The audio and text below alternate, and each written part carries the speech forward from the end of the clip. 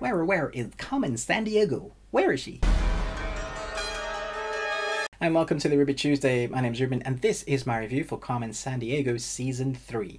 So, we're in our Halloween um, uh, set, as you can see, and the reason why I'm doing the review here on this Halloween set is because it is October, but also because this all the episodes are to do with Halloween, and that's what I really liked about this series. Well, what I didn't like is the fact that it's so short. There's only five episodes to this season. It feels like it's almost just for the Halloween season. It's not really a full season, but don't worry. The way they left it at the end of episode five, we're definitely getting a new series, a new season. Yes, it's our jam. So there's a lot of things going on and a lot of things happening uh, within season, especially the fact that we've only got five episodes. They do cover a lot of ground.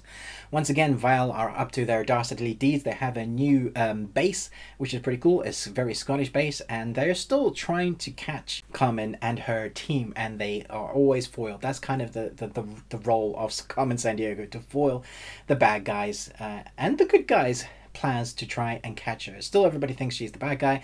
Still, we learn um, stuff about geography and the various places that she jet sets across the world. She's still trying to foil Vile's plans, but at the heart of it, she's trying to learn more about her family, as we learned a little bit about her father being in Vile. Now she's trying to track down her mother, and so there's a couple of the episodes where she's, you know, if she finds out a little bit more, and she was she they they they're basically kind of teetering us. They're giving us little tidbits of a story. Obviously, they're going to keep dragging that out, and eventually, I presume, we'll find that she is alive, and you know, her mother is some amazing super spy, or the actual the leader of Vile, or something like that. That's how it will probably go.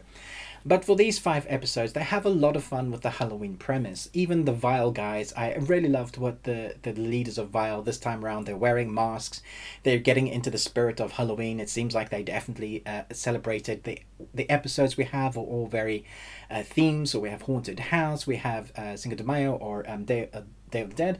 I think you know the various different Halloween uh, places you know celebrated around the world, and all of that makes for a very mask centric series this time round, which is a lot of fun and makes sense with Carmen Sandiego.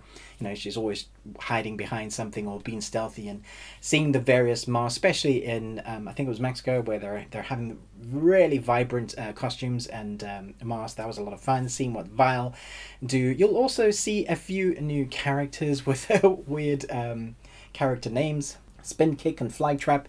Spin Kick! Fly Trap! and a few of the voices you will recognize as well. Definitely famous uh, voice acting artists. Uh, you can go and check them out on IMDb.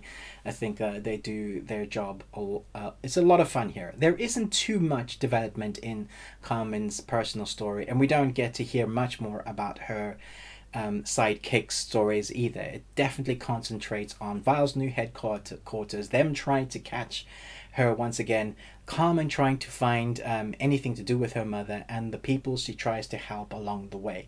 There is one moment where someone is trying to be brought into Vile, similar to Carmen with her skills, and I really like that kind of dynamic. We do get to see some familiar faces that we really enjoy. For the most part, you're going to enjoy this. I think it's definitely a Halloween series, you know, for October, Carmen Sandiego season three, it's that. But it's also really short, so you'll watch through it and you'll be like, wait, where's the rest? So I would give this a B plus. I probably would have given an A, but I do feel like it's too short. We needed more. We've been waiting a while for this, so hopefully we, it won't take too long to get a proper season four with more episodes.